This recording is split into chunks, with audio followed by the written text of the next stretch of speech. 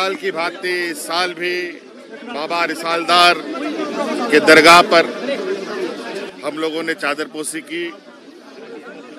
विगत दो वर्ष कोरोना का संक्रमण था। बहुत सारे रिस्ट्रिक्शन के साथ दरबार में आना होता रहा। आज क्योंकि हर त्यौहार पूरे साधारण तरीके से, आम तरीके से मनाया जा रहा है।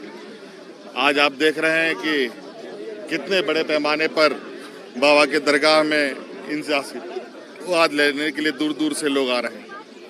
हम दुआ करते हैं और बाबा से आशीर्वाद मांगते हैं कि देश, राज में अमन चैन हो, भाईचारे का ये मज़बूत हो, बंधन और मज़बूत हो और हम सब लोग अमन चैन से रहें।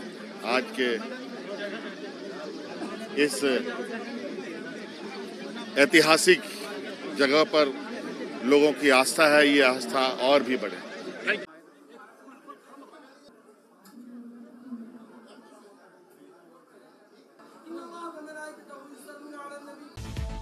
अपने राज्य से जुड़ी हर ताज़ा खबरों के लिए आप हमें सब्सक्राइब करें, साथ ही बेल आइकन बटन दबाना ना भूलें।